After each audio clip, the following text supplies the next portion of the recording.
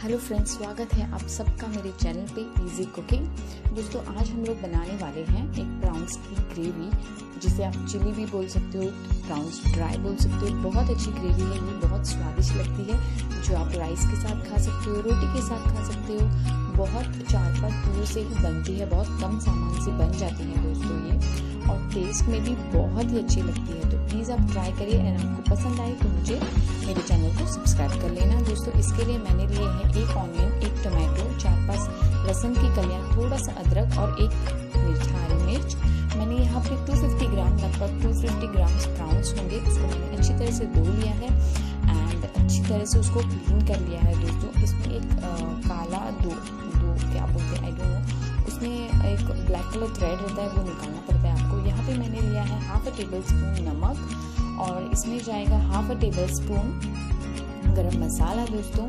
उसके बाद में डालूँगी half a tablespoon half में एटलीस्ट हाफ़ के ऊपर थोड़ा one fourth tablespoon sorry half tablespoon और ज़रा सा ग्रीन चिली पाउडर लिया है दोस्तों मैंने यहाँ पे। एंड इसमें जाएगी थोड़ी सी हल्दी लगभग वन फोर्थ टेबल स्पून यहाँ पे डालेगी हम लोग हल्दी। तो इसको अच्छी तरह से हम लोग मिक्स कर देंगे एंड मैरिनेट के लिए साइड में रख देंगे। आपको इसको अच्छी तरह से मिक्स करना है दोस्तों। एंड अच्छी तरह से आप इसे रखना है साइड में, ताकि हम लोग इसे थोड़ी देर के बाद यूज़ कर सकें। ऐसा कोई ड्यूरेशन टाइम नहीं है मैरिनेशन का। हम लोग अपनी कढ़ाई रखते हैं गैस पे, मैं गैस ऑन कर लेती हूँ। थोड़ी कढ़ाई गर्म होने दीजिए।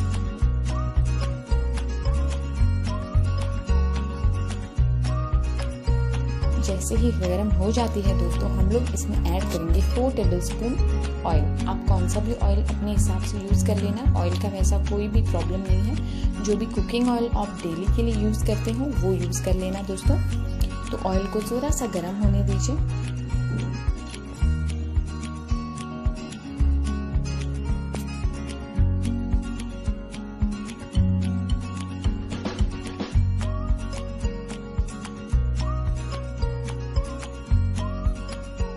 जैसे ही गर्म हो जाता है दोस्तों हम लोग इसमें ऐड करेंगे ऑनियंस ऑनियन को आपको अच्छी तरह से फ्राई करना है दोस्तों बहुत अच्छी तरह से मतलब क्योंकि ऑनियन की ही ग्रेवी बनने वाली है। हम लोग ने इसमें ग्रेवी के लिए कुछ सेपरेटली कोकोनट या यूज़ नहीं किया है। हम लोग जो ग्रेवी बनाने वाले हैं वो ऑनियन टमाटो की ही बनेगी। तो इसलिए आपको ऑनियन को बहुत अच्छी तरह से आ, मतलब पकाना है उसको पूरा मेल्ट हो जाना है दोस्तों। अच्छी तरह से मिक्स कर लेंगे एंड उसको ढक के रख देंगे पकने के लिए। ढकने के बाद हमें थोड़ी थोड़ी देर बाद इसे हिलाते रहना है, सौटे करते रहना है। नहीं तो वो नीचे से लग जाता है क्योंकि हमने तेल भी ज़्यादा यूज़ नहीं किया है। तो इसको हम लोग थोड़ी थोड़ी देर बाद हम लोग इसे मतलब सौटे करते रहेंगे।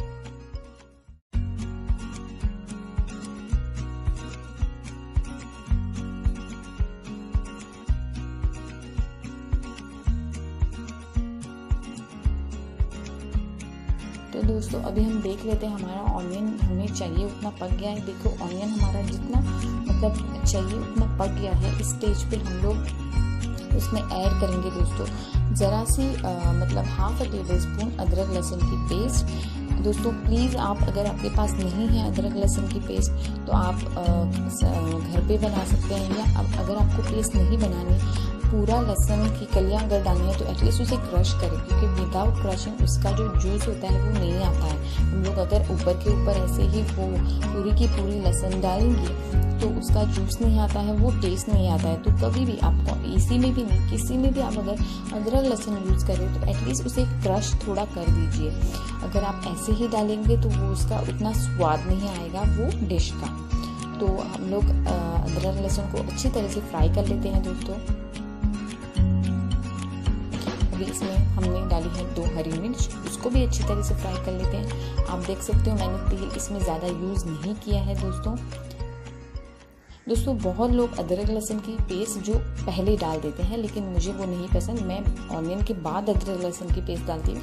उससे वो जलती नहीं है दोस्तों। आपने नोटिस किया होगा, अगर आप पहले अदरक लहसुन की पेस्ट डालेंगी तो वो जल जाती है। अगर आप ऑनियन के बाद अदरक लहसुन की पेस्ट डालेंगे तो वो जलती नहीं है ऑनियन के साथ अच्छी पक जाती है। तो हम लोग अभी उसमें ऐड करेंगे टोमेटोज जो मैंने वन टोमेटो लिया था, वो अभी ऐड करेंगे हम लोग। ऑनियन को बहुत अच्छी तरह से पकाना है। मैंने हाफ़ अ टेबल स्पून इसमें नमक डाल दिया है, ताकि उससे वो पानी छूट जाए। और हम लोग इसे अभी बारी बारी थोड़ी थोड़ी देर में हम लोग इसे खोल सॉटे करते रहेंगे, क्योंकि टोमेटो जलने की बहुत संभावना है। तो हम लोग उसे बारी बारी ओपन करके उसे पकाते रहेंगे।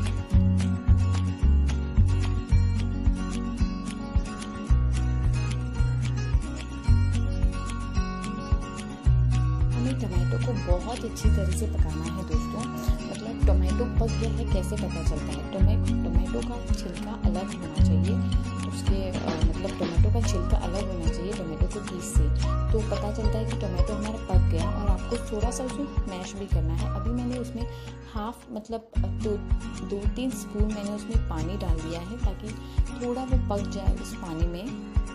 हमने ऑयल ज़्यादा यूज़ नहीं किया है तो थोड़ा पानी हमने ऐड कर दिया है टोमेटो में, क्योंकि उसे थोड़ा मॉइस्चर मिले। अभी जो हमारा टोमेटो पक गया है, मैंने इसमें डाल दिया है हमारे प्राउंस वो भी हमें बहुत अच्छी तरह से पकाना है दोस्तों इसमें पानी अभी डालने की ज़रूरत नहीं है। पूरा जो है ब्राउन से अपना पानी अभी छोड़ेगा, अच्छी तरह से पक जाएगा। हमें सिर्फ़ वो धीमी आँच में सारा कुछ पकाना है। मैं एक चीज़ बोलना भूल गई दोस्तों ये सारा जो है मैंने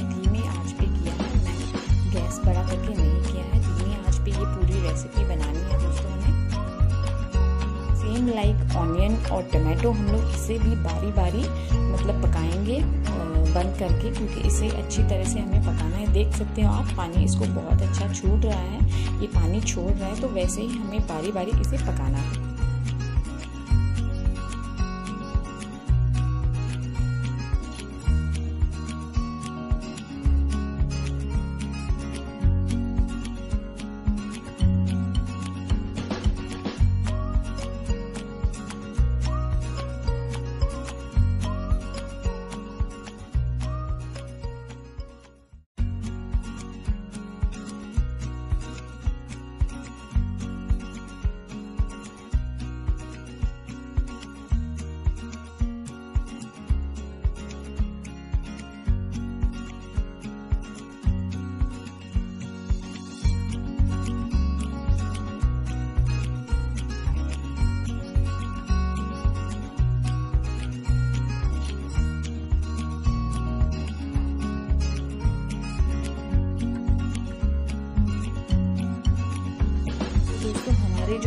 हैं अभी पक गए हैं तो अभी हम लोग इसमें पानी ऐड करेंगे दोस्तों। पानी अपने हिसाब से ऐड करना है। मुझे ये ग्रेवी चावल के साथ खानी है दोस्तों तो मुझे थोड़ा इसमें ये ग्रेवी टाइप में चाहिए तो मैं थोड़ा ज़्यादा पानी ऐड करूँगी। मैं एक गिलास पानी इसमें ऐड कर रही हूँ दोस्तों। आपको अगर चाहिए तो आप कम भी पानी ऐड कर सकते हो, और इसे हम लोग धीमी आँच पे पकाएँगे भी। ये देखिए ये पक गया है। मैंने थोड़ा फॉरवर्डिंग किया है दोस्तों वीडियो को, क्योंकि वीडियो बहुत लंबा हो गया था तो मैंने पानी डाल के इसको उबाला है। ये आपके हिसाब से अभी पकाना है। अगर आपको ड्राई चाहिए तो पूरा पानी आपको ड्राई मतलब ज़रा सा पानी डाल के आपको पकाना है। अगर आपको ग्रेवी चाहिए तो लाइक मी एक गिलास पानी उसमें डालिए और अच्छी तरह से उबालिए। उसका पूरा जो जूस है ब्राउन्स का, वो पानी के साथ मिक्स होना चाहिए एंड आपको बहुत अच्छी एक ग्रेवी मिलनी चाहिए। तो हम लोग अभी आपको आगे पता ही चलेगा कितना टेस्टी बनता है। प्लीज़ इस डिश को ट्राई कीजिएगा। बहुत सिंपल है दोस्तों, बहुत अच्छी लगेगी। एंड मेरी जो रेसिपीज़ हैं दोस्तों, बोलना चाहती हूँ, सारे बिगनर्स के लिए हैं दोस्तों, क्योंकि मैं भी एक्सपर्ट नहीं हूँ रेसिपीज़ में, सच्ची बोलो तो एक्सपर्ट नहीं हूँ, मैं भी सीख रही हूँ। तो मेरे साथ मुझे लगा हमें औरों को भी सिखाना चाहिए। ये सिंपल रेसिपीज़ है दोस्तों। इसमें सिर्फ़ ऑनियन टमाटो इसको आप और भी बढ़िया बना सकते हो विद मतलब और अच्छा अलग अलग इसमें और कुछ डाल के धनिया पाउडर या बहुत कुछ डाल सकते हो इसमें। उसे और बेहतर बना सकते हो। लेकिन ये एक सिंपल जिसको खाना पकाना अभी तक नहीं आता, उसके लिए ये रेसिपी है दोस्तों। तो ये हमारी ऑलरेडी बन मतलब अभी 90 परसेंट ये हो गई है। इसको थोड़ा और उबालना है हमें।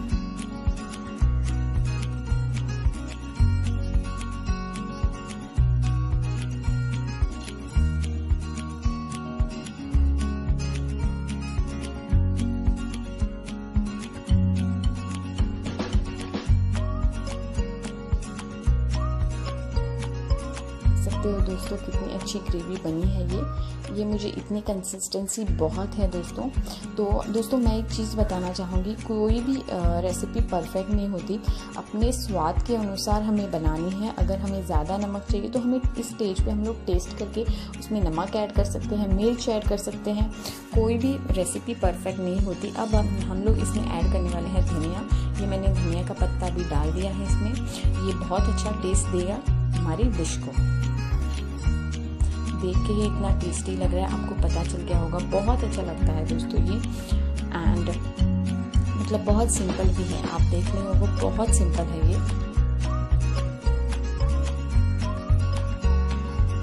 ये ग्रेवी ग्रेवी सिर्फ़ दो लोगों के लिए बनी है दोस्तों। वो भी एक टाइम के लिए। अगर आपको ज़्यादा लोग हैं तो आपको ज़्यादा बनानी पड़ेगी।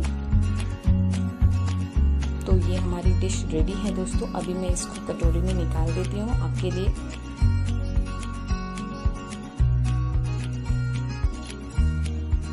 देख सकते हो, मैंने ये ज़्यादा पानीदार भी नहीं किया है, ग्रेवी मेरी बहुत थिक भी है।